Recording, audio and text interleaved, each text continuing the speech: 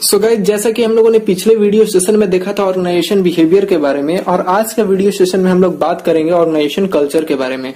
सो so, जैसा कि हम लोगों ने मैंने आपको बताया था लास्ट वीडियो में कि हम लोग नेक्स्ट वीडियो में ऑर्गेनाइजेशन कल्चर के बारे में डिस्कस करेंगे तो ये दोनों वीडियोस कहीं ना कहीं एक दूसरे से रिलेटेड है।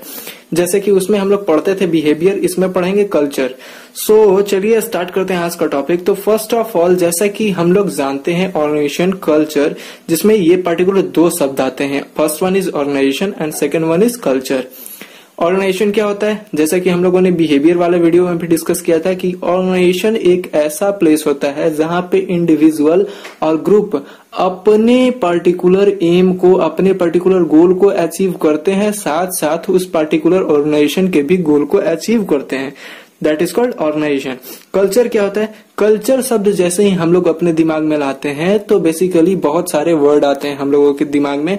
जैसे कि कोई इंसान हमें मिलता है, उसको बोलते हैं कि ये बंगाली कल्चर है इसका इसका वेस्टर्न कल्चर है, इसका साउथ का कल्चर है। क्यों? क्योंकि हम उसके एटीट्यूड उसके ड्रेसिंग सेंस उसके टॉकिंग स्टाइल उसके बिहेवियर के बेसिस पे उसको जज करते हैं। सही है? इसके बेसिस पे ही जब हम जज करते हैं तो उसको एक पर्टिकुलर कल्चर का नाम देते हैं। अब एक ऑर्गेनाइजेशन में कल्चर क्या हो सकता है? तो एक ऑर्गेनाइजेशन में कल्चर होता है कि इसको हम लोग डिफिनेशन के थ्रू समझते हैं।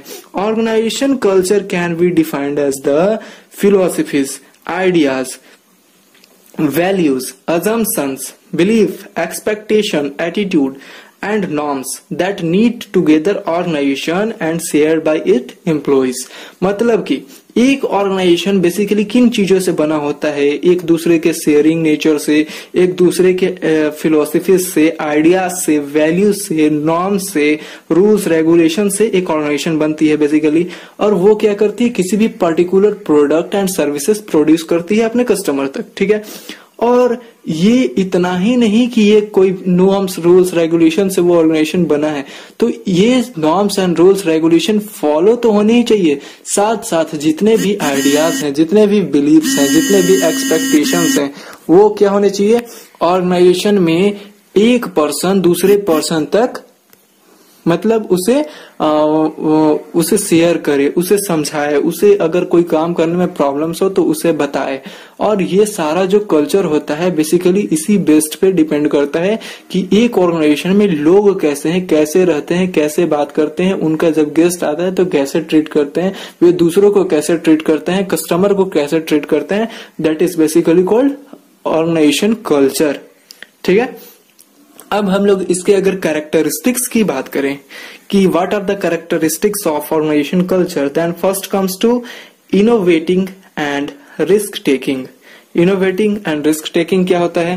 तो in an in this according to innovating and risk taking in the employees are encourage to take innovative steps and risk इसके हिसाब से जो इम्प्लॉयज होते हैं, उनको इनकरेज किया जाता है एक इनोवेटिव एक पर्टिकुलरली स्टेप लेने के लिए, या फिर स्टेप जो लिए हैं, उसके बेसिस पे उन्हें इनकरेज किया जाता है। उनके रिस्क को को देख करके उन्हें मेजर किया जाता है। उनकी परफॉर्मेंस देख करके, उनकी इनोवेटिव स्टेप देख करके उनकी प्रमोशंस होती है।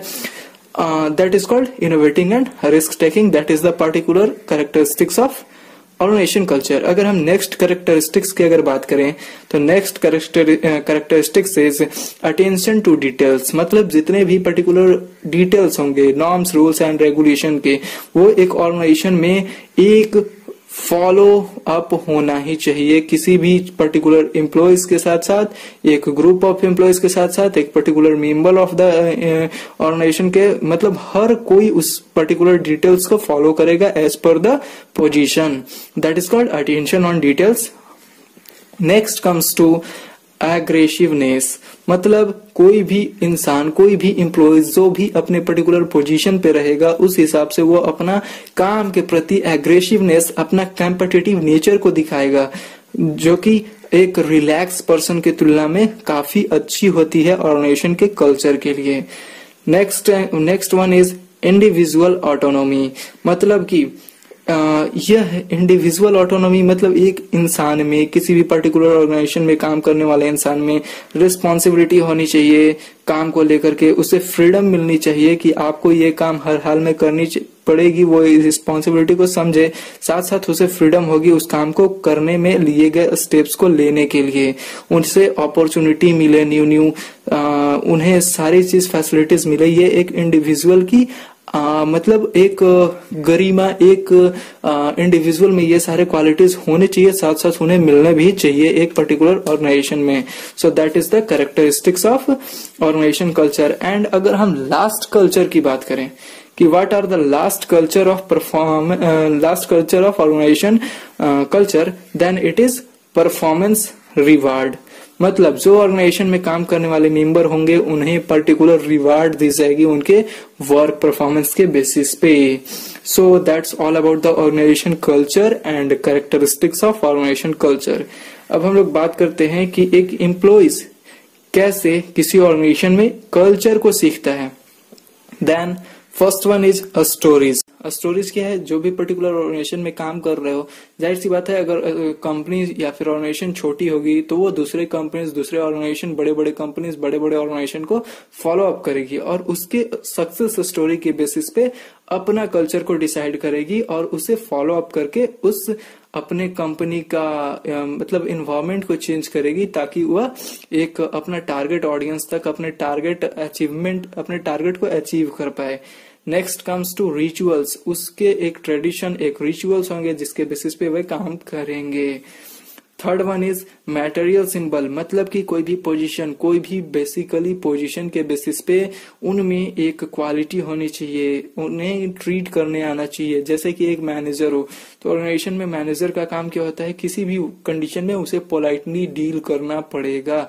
अगर वो एम्प्लॉय के साथ डील कर रहा है, एक बेटर एम्प्लॉय के साथ तो उसे हमेशा पोलाइटली डील करना पड़ेगा, उसे समझाना पड़ेगा, ना कि उसे एग्रेसिव मोड में उस पर्टिकुलर एम्प्लॉय जो की ऑर्गेनाइजेशन के लिए बहुत अच्छे अच्छे काम किए हैं, उसे निकाल नहीं सकता है, क्योंकि उसे अगर चाहे तो निकालेगा बट एक पर्टिकुलर टाइम तक उसे एक अच्छे बिहेवियर के साथ डील करने का प्रयास करेगा। नेक्स्ट कम्स टू लैंग्वेज मतलब language also keeps matter to learn culture जैसे कि कोई भी ऑर्गेनाइजेशन में काम करने वाले सौ लोग में से नब्बे लोग अगर एक पर्टिकुलर लैंग्वेज को फॉलो अप करते हैं तो कल्चर को सीखना काफ़ी आसान होगा उस ऑर्गेनाइजेशन में।